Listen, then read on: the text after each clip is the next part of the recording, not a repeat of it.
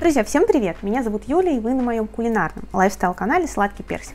Не забудьте подписаться, если вы этого еще не сделали. Сегодня мы с вами готовим очень простой и очень вкусный открытый клубничный пирог.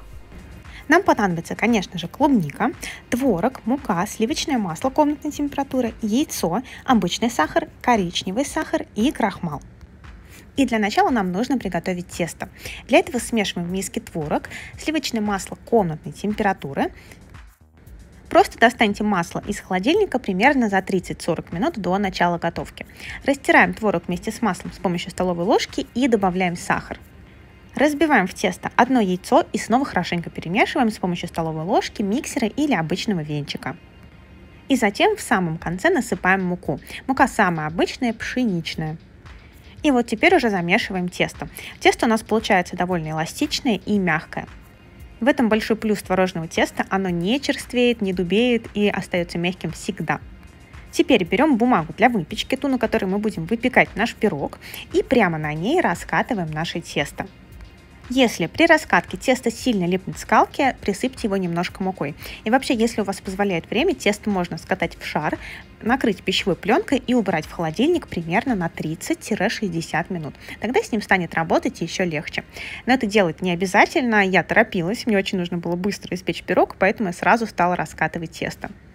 Обратите внимание, я слегка присыпала его мукой, чтобы оно не прилипало к скалке. Как раз об этом я и говорила.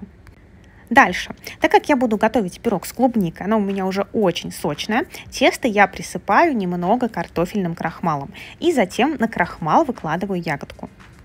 Присыпать крахмалом не обязательно, это делается только для очень сочной начинки. Если вы готовите галету с какими-то фруктами, которые не такие сочные, то этого можно не делать. Клубнику выкладываю в центр и сверху тоже слегка посыпаю картофельным крахмалом. При выпечке крахмал впитает в себя лишний сок от клубники и тесто не растечется. И еще сверху я посыпала клубнику немножко коричневым сахаром. И теперь просто заворачиваем края галеты к центру и защипываем их, чтобы они не развалились. Здесь можно помогать себе бумагой. Убираем наш пирог в разогретую до 180 градусов духовку и готовим примерно 25-30 минут.